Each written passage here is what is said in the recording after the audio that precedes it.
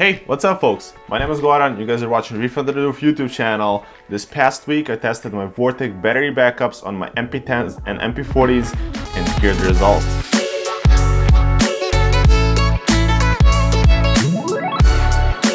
I tested single VorTech battery backup on one MP10 and lasted 79 and a half hours and then afterwards I tested VorTech battery backup on single MP40 and lasted exactly 46 hours. And here's how I did the test for both of these. Of course I unplugged power supply off of VorTech battery backup and off of MPs and I had both pumps running on 20% and afterwards I attached small piece of plastic bag on the Vortex had my camera set up so I was looking straight at them, just in case when I'm sleeping, when I'm not home, to know exact time when the vortex stopped. This is one of the big reasons why I have MPs at the first place, so I just wanted to double check results that I've seen on internet since I've had MPs together with vortex battery backups for quite some time now. I believe all of them are around two years old or so. So I just wanted to check if the age of the pump, the age of the battery backup will still hold up, and it actually did pretty good as you guys can tell. I haven't tested MP60 since I don't own one, but just me looking at the wattage and how long MP10 and MP40 went, I can tell for sure that MP60 will go over a day on one single battery backup. Since MP10 is lasting so long on one single battery backup, if you guys have two MP10s,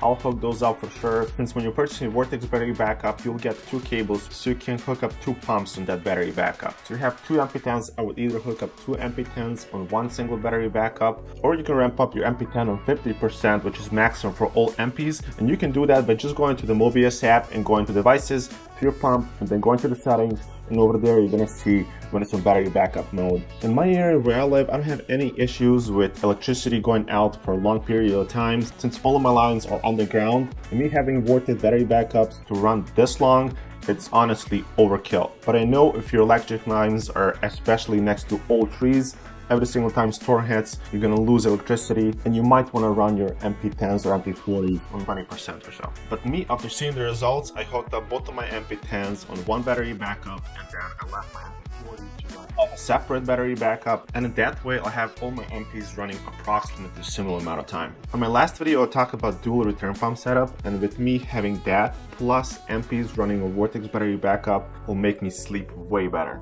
And few other reasons I like MPs. First reason is the battery backup. Second reason is because they're very, very easy to clean. Third reason is because they look sleek in a tank. There's no visible cables since all that is outside the tank.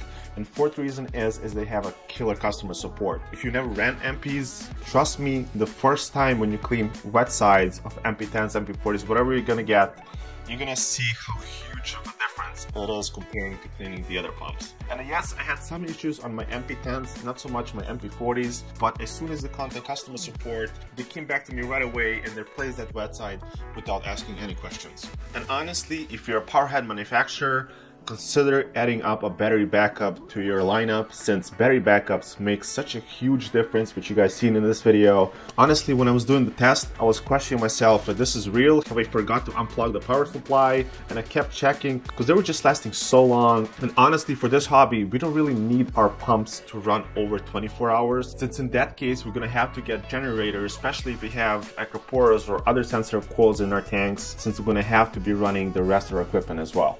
If you guys made it so far, make sure to like the video, subscribe, go and check out my last video where I talked about the best return pump setup. And with all that out of the way, see you guys in the next video.